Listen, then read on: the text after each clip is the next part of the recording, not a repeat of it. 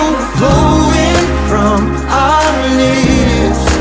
How great is the Father's gift to us with a steadfast love and with a heart of surrender. We come to your throne, cause you're worthy of both.